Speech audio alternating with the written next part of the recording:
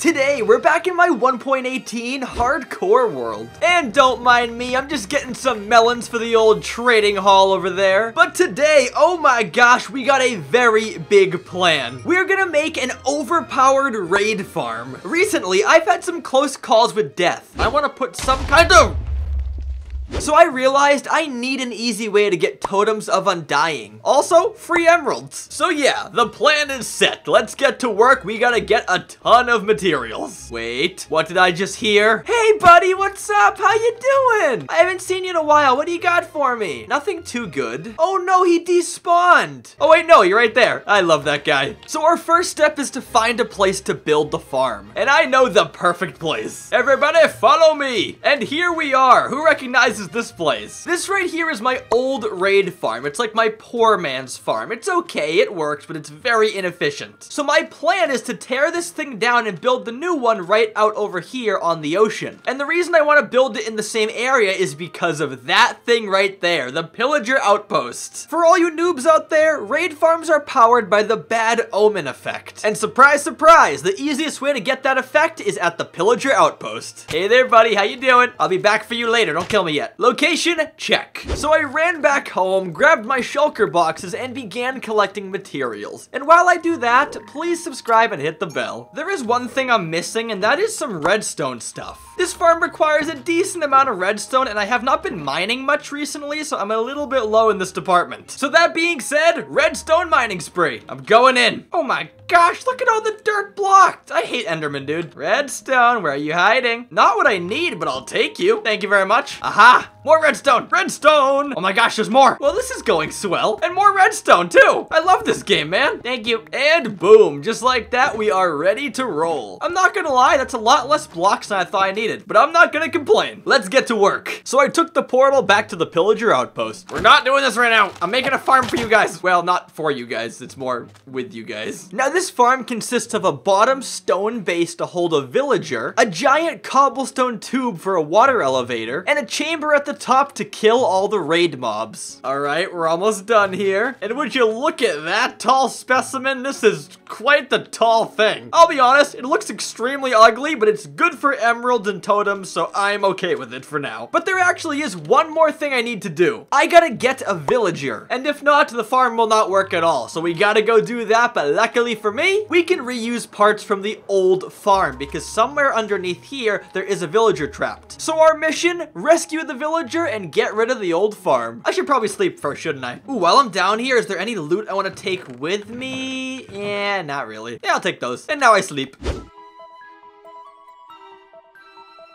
And that's all she wrote. All right, villager, where you at? I'm busting you out of here. I can hear you somewhere. Aha! Hey, my friend, how you doing? It's your time to leave. Get on out of here. And I take out a boat. Get in. Get in the boat. Get in the boat. Get in the boat. There you go. He's in the boat. Now, hopefully this will be pretty easy and smooth, but villagers and me don't get along very well. We got a bad history. Don't die, don't die! Alright, good. Smooth as a cucumber. Wait, what? Come on, my friend. Yes, yes. Oh, you're almost there. Get in. Nice, all right, sweet. Villager secured. And that being said, let's go explain how the thing works. Now, the pillagers think that this guy is a village, so they're gonna try to spawn a raid on his face. But as soon as they see him, I'm gonna run up here, and they're gonna spawn at the top of this platform. And I pop up here, go on top of this trap door, and I smack the pillagers from this little slit right here. And there's a lot of weird redstone things, like boats and whatever that is up there. As you can tell, I'm not a redstone guy, but I'm excited. Let's go try it out. Oh, banner banner guy. Ow. Where's the banner guy? Where's your leader? I want to give him a gift. Hey, buddy, a gift for you. It's called a smack in the face. And now we go to the farm. Oh my gosh, that thing is so ugly. But okay, I fly down here. Where's the raid? Where's the raid? Where's the raid? When's the raid gonna start? What'd I do wrong? I'll save you some time. I had to give the villager a workstation. Smack it there. Does that work? Yes, okay, it's starting. Go, go, go. Go in the water. Go up. Quick, go. Oh boy, I'm nervous. All right, I go in here. I flick the lever and they should just go right there. Yeah. Let's go!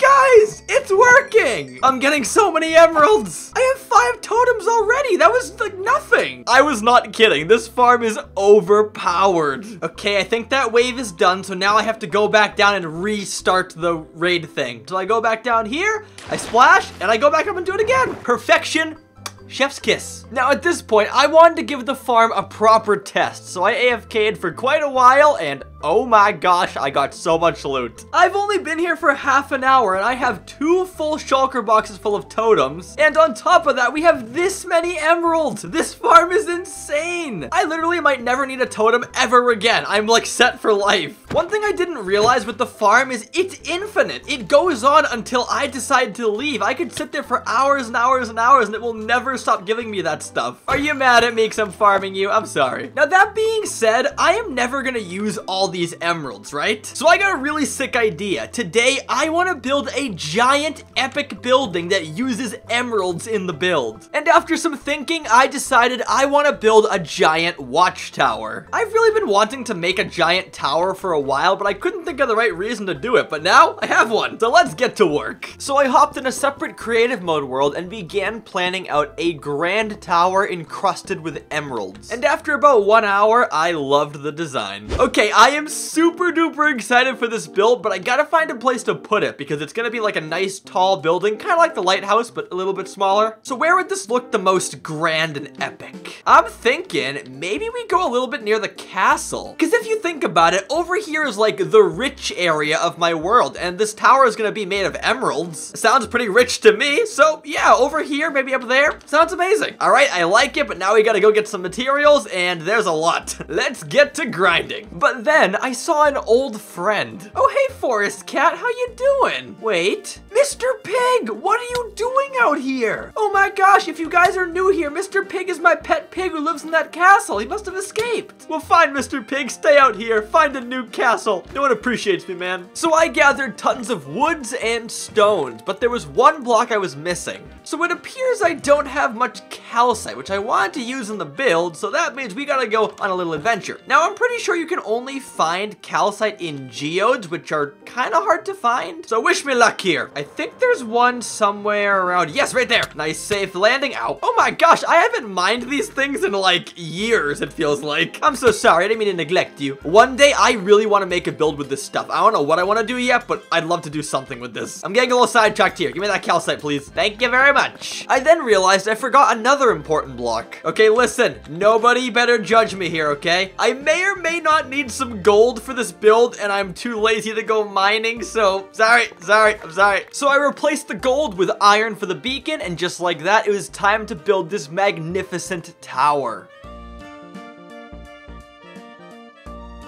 And oh my gosh, what do you guys think about this bad boy? I love this tower. I think it came out so good. I love the color scheme. I love how it's like a gradient, how it goes from like dark to gray to the lightest. I love the emeralds inside of here. And the best part is we made a giant bell up here. It's more of a bell tower. It's kind of like a watchtower bell tower mix. And it's raining. That's nice. Totally killing the mood right now. But the bell looks amazing. The tower is great. So yeah, I'm satisfied. This is the best view ever. The tower and the castle side by side. Oh, now we still gotta do the interior. Right now it's totally empty. It's very ominous in here. So I gotta do that. I also gotta do like a little bit of an outside pathway to get back over to the road. So we got some things to do with the tower, but overall it looks great. So what a great start. So off I went gathering some materials to work on the interior floor. Ooh, a little secret cave down here. Oh, Hello? Ah, I guess that's it. I thought it was gonna be cooler than that. Hmm, now how should I do this? I think I might do like a big spiral staircase that goes up to the top. That might look kind of cool, right? I say we try it out. Let's do this thing.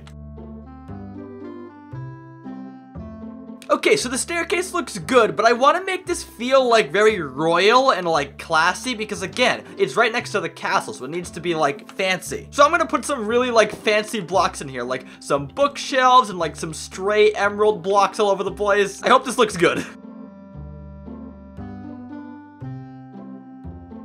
And here's the final product. What do you guys think? I like the emeralds. It's a very eye-popping thing. The bookcases are nice and the candles and all this stuff. I'm not gonna lie, it's kind of annoying to walk up because of all this junk. But again, it's for looks, it's for the aesthetic, so I'm not gonna complain too much. And up at the top, we have a ladder to take us up to another little staircase, which kind of spirals in this big circle. Then there's one more ladder that takes us up to the top. I think it's glorious. Actually, wait, I have one more idea. This is the Royal Watchtower, right? So I gotta have some bodyguards. Squire, defend, wait, what? Take number two. Squire, oh my goodness. Take three. Squire, defend this tower. I got it. And I'll smack the other one up here at the top and he can actually be like the watchman. He'll actually be the guy who's like, you know, spotting out enemies and saying, Farzy, there's a pillager near you. All right, my friend, be a good watchman. Tell me if there's bad things happening. And most importantly, have some fun. Fun is the most important thing after all. Well, that and doing your taxes. Everyone do your taxes, okay? I then built a nice little road to connect back to the tower, but then I realized something. I almost forgot something very important. Last episode, I said if the video got 3,500 likes, I would explode 1,000 pieces of TNT in the overworld. And you guys absolutely nailed it. So that being said, we got some explosions to do today. But the question is, do I have any TNT? I have 11. That is not 1,000. I need a lot more than that. So I collected tons of gunpowder from the creeper farm and mined tons of sand. Oh, I'm sorry, Mr. Turtle. I just need the sand. I sincerely apologize.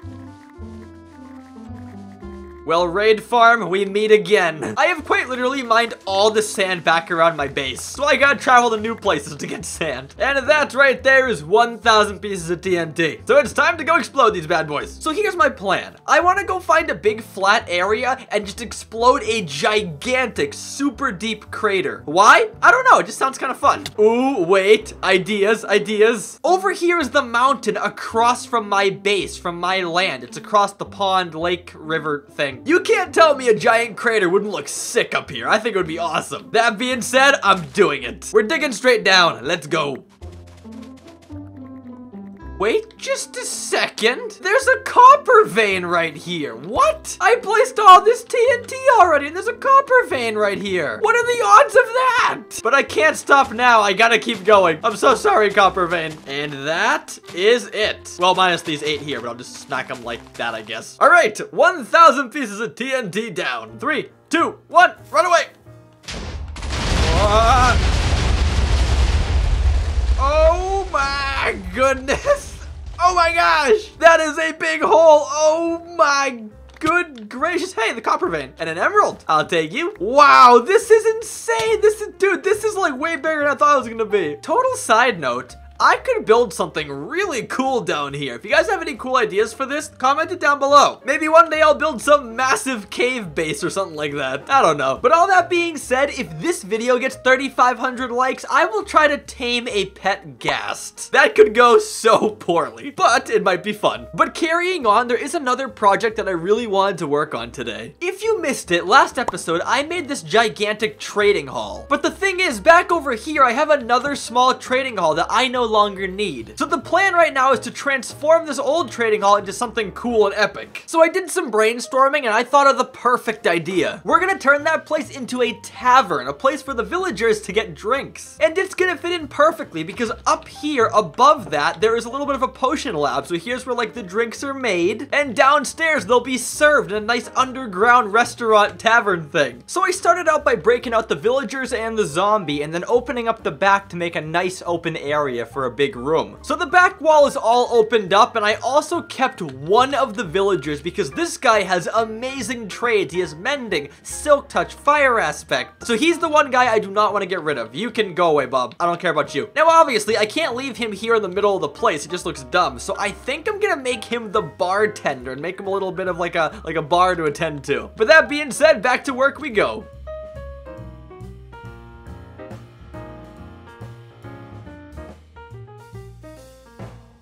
Introducing the Villager Tavern. Guys, ladies, gentlemen, everybody, what do you think? I personally think it is amazing. Oh, we got a leak. We have a leak on the premises. Not good. I'll get that patched up. But besides that, look at this beautiful tavern. It looks very cozy and homey. It's not too big, but you know, we got the little lounge area down here. We got the bar with the seats, got the, the keg thingies, and of course, the bartender who has the amazing trades. Your name will be Mr. Bartender. I don't know. I love it. It's a great little tavern, bar, place, and plus, we can still go upstairs to our potion lab very easily. I'd call that a success. Oh, hello there. I'm so happy he's not despawning anymore. Wait, as a matter of fact, since I have a sick new emerald farm, I'll give him some business. Excuse me again, sir. I will take some of your blue ice because we are now friends, right? No? Okay. But guys, that's all the time I have for today, so I'm gonna peace out. Make sure to like, subscribe, do all the good stuff, and I'll talk to you guys next time. So until then, goodbye.